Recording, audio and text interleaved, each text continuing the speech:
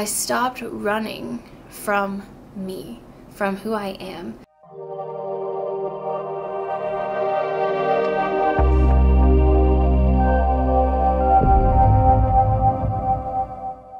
What's up guys? My name is Savannah and I teach modern day hippies how to live a more natural and healthy lifestyle through science and mindfulness. If you're new, hello. Today I'm opening up about a personal choice that I recently made and I think that a lot of you can probably relate to some of the things that I've been through. So if you're into rawness and realness or you're thinking about giving up drinking or just cutting back, then definitely keep on watching. Before we dive in, won't you be an absolute babe and hit that subscribe button? Maybe? Please? Think about it. Think about it. So my problems with drinking started about seven years ago. I'm currently 25, so I would have been about 18 at the time. And I didn't really drink as a teenager. Um, I was very sheltered. I was brought up very conservatively. And I decided that I wanted, and well, I was pushed into getting an engineering degree. More on that later, the being pushed in part. And I don't know if you know this, but engineering school is really freaking hard. It is difficult for even intelligent people. It's just, it's meant to root out the weak. If I'm being honest, like people just can't hang. I remember on the first day of class, our professor in the first 8 a.m., first day, scared shitless, still 17 years old, and the professor said, Look to your right, now look to your left. Only one of you is going to be here at the end of the four years. So from the beginning, and that was the first thing that's told to you, the very first thing, like day one, 8 a.m. That's the first sentence, like, hey, you might fail. Like, there's a one in three chance that you make it, but there's also a two in three chance that you don't. So that's a lot of stress on a human. And then, you know, the college that I went to, Florida Institute of Technology. Holla, holla. Where you at? Uh, there. Uh, okay. so the college that I went to, the Florida Institute of Technology, has this four-year plan of 135 credits, which is about 18 like STEM class credits per semester. So that works out to being like four and a half, five classes of like every single class is really intensive science and math. So it's just a lot to handle. Let me start by saying that engineering is something that I can't truly regret because my knowledge of how energy works within systems mathematically, being able to see the the math and the science behind my personal spiritual beliefs is invaluable to me and then also the chemistry knowledge is so amazing because I can share it with you guys and really help educate you on the ways that we're being poisoned. But it, was never really something that I wanted for myself. Um, when I graduated high school, I didn't know what I wanted to do, and I was kind of just pushed into it by my parents, namely my dad. Hi, dad, love you. Because they're all engineers, like my mom and my dad and my stepmom and my stepdad. They're all engineers, and that's how they escaped poverty and that was like their messiah so of course they felt like it was what i needed to do and i took it on and i was like okay nothing bad can come out of this i was wrong about that part but we'll get to that in a minute but i always had this deep down feeling that what i was doing even though it was undeniably useful to have in my tool belt it just wasn't me. It wasn't what I was supposed to be doing, but I was just going to do it, get it out of the way, and say that I did it and have it there to fall back on. And I did do. I graduated in the four years. But when I graduated and I had to go out to the real world, all I brought with me was my terrible coping mechanisms, and the forerunner of which was binge drinking like every single weekend. Like I binge drank every single weekend in university, even in the summers. Like if I missed a weekend, it was like, whoa, this is crazy. Like I was either sick or I was like in with my boyfriend but even like even if i had a boyfriend i was still out drinking like taking my stress and pushing it directly to my liver instead of like you know coping with it and solving it like i do now but i didn't know any better like I wasn't raised to deal with things like that. So I drank and I mean, I didn't just when I say binge drink, do you know what that means? It's like you don't have a couple of drinks, you have like six doubles, which is like a double shot and then whatever mixer you have in with it, like a Coca Cola or um, a Sprite or orange juice.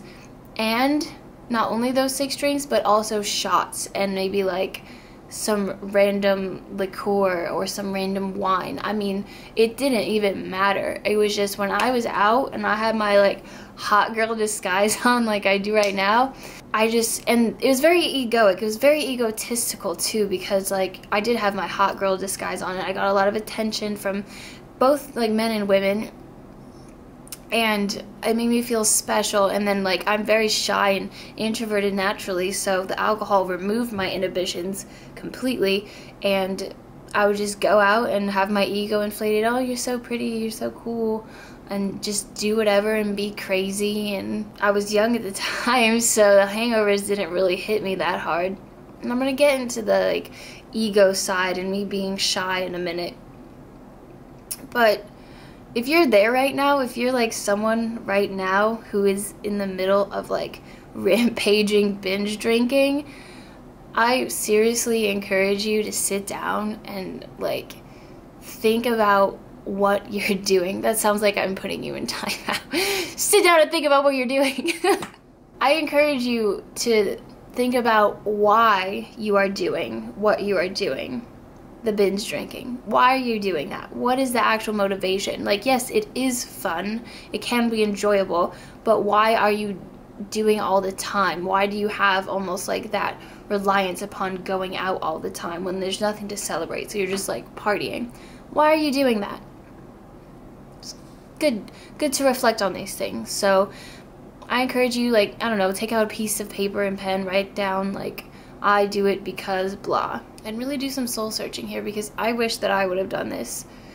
I wish I had done something like that when I was in your situation. And speaking of reasons why binge drinking is a thing, for me, it was because I was running from who I am, from what I'm meant to do, and from where I'm meant to be. So I have always had these two sides within myself that I describe from childhood as like the person who wants to go to South America and like be a missionary. So I was grown up Christian. I was raised Christian. Be a missionary, like forsake all possessions and just help people. And then this other side that wanted to be like a big mogul, um, like wear Prada, um, have a big corner office, like stuff like that. And now that I'm older, I realize that what I was describing as a child is my ego and my spirit. And I'm sorry, the other way around. This one was my spirit, this one was my ego. And now I know that I this path over here, this CEO, uh, I'm so cool, I wear great clothes, uh, I had the latest ride, I do, you know, whatever I want because I make so much money this is just an empty path. There is I've gone down it. I've gone down it. I'm not I'm speaking from personal experience. There is nothing here to gain. All of the true joy of life is over here. I was drinking because I was running away from myself, from my purpose, from coming to terms with that I wasn't in alignment career or mentally with what I needed to do with my natural skills and talents and passions. And so alcohol just kind of numbed the pain and made socializing easy and made it so that I could at least a couple times a week, you know, on those nights that I went out, have fun and escape from where I was in reality. And that's a terrible reason to drink, especially when you're binge drinking. I binge drank and ran away from that for years, years and years and years. And when I graduated, which was, gosh, three and a half years now. When I graduated from college, it didn't get better. I had the degree, I had the diploma, but I knew that deep down that it wasn't right for me. And so, my drinking got worse. Surprise, plot twist. Around the time that I, so it was, it's presently the very beginning of 2020, and I graduated in May 2016, and this is around and I kind of like marked the start ish time of my spiritual journey as November 2016. It's also when Blissful was founded. I got in this car accident. Um, three in the morning. Guess what I was doing? I was out drinking. I was drunk AF. And the spiritual journey since 2018 has seriously like picked up the pace and brought me so far that the person who used to go out binge drinking, the person who got in that accident that night in 2016 is we're two different people. Like I'm still my same soul, but now she's out of the bag. She's living. She is here. We don't hide her anymore. So the more and more that I've come out of my shell and into myself, my natural talents and callings, the less that I've felt the need to binge drink because I'm not running from anything anymore. I'm not escaping or lying to myself anymore. The last 18 months absolutely rocked my shit. I had sickness. I left a four year relationship. I canceled a move out west. I quit my job at a major corporation that was like a dream job to anybody who went to my college. I completely took my engineering degree and was like, peace, bye. And it was a lot of changes all at once. It was a lot to go through. But I stopped running from me from who I am. And to quote Oprah, who I love Oprah, she says, this is a paraphrasing. She says, the number one thing that you have to do in life is be yourself because you were given these natural talents and skills specifically to do what you are supposed to do, to play your part in the greater collective. And if you're not going to be you, then who is? So I started to resonate less and less with alcohol just because I don't need it anymore. And it's I know I know as like a healthcare professional that it's really really bad for you. Like it's it's one of the worst things that you can do for your body. It's absolute poison and it just really damages your cells over time especially your liver which helps detox you from things. So I've been thinking a lot and as blissful has grown and I've matured on my spiritual journey and path and become more myself and step more into my power and who I am, I've just less and less resonated with drinking. So this past New Year's Eve, which was uh, 13 days ago, I went out drinking. I had thought about giving up alcohol for 2020. It was a fleeting thought. Um, I had done it in 2019. I went four months without any liquor, but I did pick it back up um, around my birthday, September. Uh, so New Year's, I went out and I had two glasses of wine, two vodka drinks. I think it was like, I don't know, orange juice vodka. And I was completely smashed. I don't know. I used to be able to drink like three to four times that and be fine. I was hammered. Someone had to carry me into my apartment and I was hungover the next day and I just thought about why I was continuing to do something that I know I don't like. And there's this whole other side where as I found out and discovered and stepped into and developed who my true nature, who I am, I found out that I'm an empath. I am a clairsentient person, if you will and I naturally just take on the energy of other people. I'm like a sponge and I can't help it. And honestly, finding out I was an empath made my self care go zero to 100 in like my ability to care for myself because I finally understood why I would be negatively affected by things. And for years, I, like I said, I'm very shy. I've been diagnosed as autistic even and I'm just not someone that really opens up at all to anybody, especially strangers. Like if you saw me in a bar sober, like I would just sit in the corner and like shake like a little chihuahua. but because I had alcohol, I never had to do that. My inhibitions were out the window, and I could pretend to be an extrovert. I could pretend that I liked those things, that I liked going out, that I liked being around people who are also running from their realities. When in fact, I never did. And even though my brain was turned off at the moment while I would be out binge drinking, my heart was still very much on, and I would take on everybody's energies. And like I said, people who go to bars on the regular are usually like running from something in some capacity, and I would take on the negative energies around me, and I would get home and be drunk and sober up a bit, and then I would just bawl my eyes out. This happened so many times that I would go to like a big club in Miami, like and like I said, it was very much an ego thing as well as like it was the escapism and then it was also like getting to inflate my my ego being like this hot girl. I would get home from being in these some of the best nightclubs in the world for free because if you are an attractive female, um, you can like do this thing where you find a club promoter and they will take you into the club and give you free alcohol and you're basically like decoration for the VIP tables for people who book their tables to already have hot girls at their tables when they get there.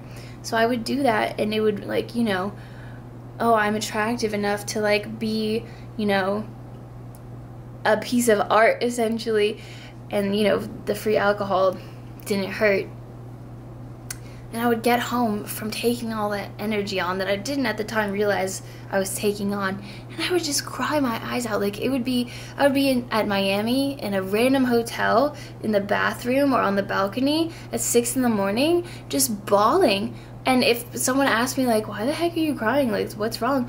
There was never a reason. I was just literally taking an emotional diarrhea. So, because of the way that I reacted on New Year's Eve to the alcohol, I decided that it really just energetically did not fit with me anymore. And I've decided to give it up at least for all of 2020, potentially forever. And I'm so happy with this choice because I'm realizing how much freedom this restriction is bringing me. Like, I can go out to places and not be slave to my inebriation. I don't have to keep drinking because I'm already drunk and already having so much fun. I can choose when I want to go home and I can be more cognizant of what energies I'm allowing into my being and what I'm around instead of, you know, ignoring it because I'm drunk. And I can not I can and I'm not going to be wasting entire weekend days or weekdays because it got to that at one point. I'm not going to be wasting entire days of my life eating junk food on the couch, hung over, unable to think or do anything. I'm feeling like shit. And I'm not going to be screwing up my sleep schedule anymore because I'm out till 4 in the morning when I normally go to bed at 11 p.m. There's just so much benefit to letting go of the need to follow the binge drink culture. So if you're someone who's thinking about doing something like that, I encourage you to do a trial period and just see how freeing it can be. And if you're someone who chooses to keep drinking, that's totally fine too. It's completely your life and your choice and your path. The only thing that I would say is just really realize why you are drinking. If you're binge drinking and not just, you know, having some nice wine at dinner, why are you doing that? Sit down and be real with yourself. Have a heart to heart with yourself. Speak out loud if that helps to yourself. Next week, we are talking about eating meat. Very divisive topic within the spiritual community. Is it hindering your spiritual growth? Is it hindering your emotional healing? Can it be done consciously? Can it be done in a way that is justifiable? If you are going to do it, and if it can be done in a proper manner, how do we do that? How do we avoid all the nasty chemicals that the food industry would have us eat because, you know, they try to poison us, or they're lazy, or it's cheaper? What is the healthiest and best way to eat meat? Flesh. I'm going in depth with that topic next week. Be sure to subscribe so that you don't miss it. Don't forget to give this video a like, and if you want to learn more about how to live a more healthy, happy, and natural lifestyle, then start by watching one of these two videos here. Thank you so much for watching. I appreciate you more than you could ever imagine. Have a blissful day.